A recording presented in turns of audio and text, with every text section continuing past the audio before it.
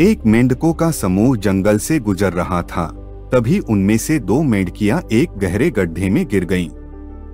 जब बाकी मेढकिया ने देखा कि गड्ढा कितना गहरा है तो उन्होंने दोनों मेढकियों को बताया कि उनके लिए कोई आशा नहीं बची है। हालाँकि दोनों मेढकियाँ अपने साथियों को नजरअंदाज करते हुए गड्ढे से बाहर निकलने की कोशिश करने लगी। इतने प्रयासों के बावजूद गड्ढे के ऊपर के समूह की मेढकियाँ अभी भी कह रही थीं कि वे बस हार मान ले क्योंकि वे कभी बाहर नहीं निकल पाएँगी। अंतः दो मेढकी में से एक मेढकी ने समूह की बात का ध्यान दिया और उसने हार मान ली और अपने मौत के लिए गहराई में उछल गई। जबकि दूसरी मेढकी बाहर आने के लिए कोशिश करती रही। फिर से मेढकी के समूह ने उससे कहा कि उसे दर्द को खत्म करना चाहिए और बस मर जाना चाहिए।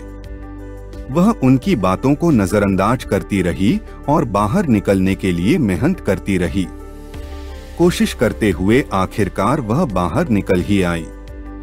जब वह बाहर निकली तो दूसरे मेढकों ने उससे पूछा, क्या तुम्हें हमारी आवाज़ नहीं सुनाई दी? मेढकी ने कुछ जवाब नहीं दिया। उनके कई बार पूछने पर भी मेढकी जवाब नहीं दे रही थी।